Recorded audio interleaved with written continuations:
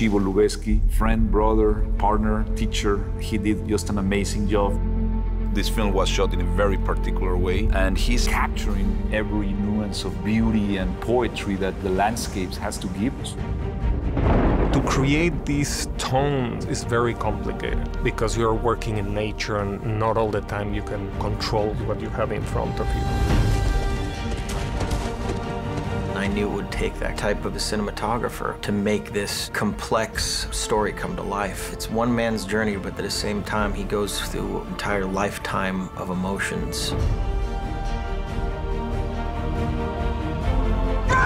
We use extensive rehearsal period where Alejandro gets to create almost like a ballet between the camera and the actors and the environment. We realized that very wide lenses allow us to really engage the audience in the movie in a very visceral way. We were able to have close-ups of Leo and still have all the environment present. My dad was that boy, and he took him from me. These shots aren't all about bringing an epic quality to the film, but it's about creating an intimacy with the actors within an epic landscape.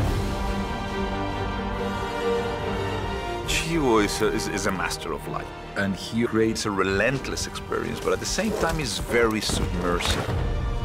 And that gives power of the image. You want to be able to immerse yourself in an entirely different world, and they've really accomplished that goal in this movie that really takes your breath away.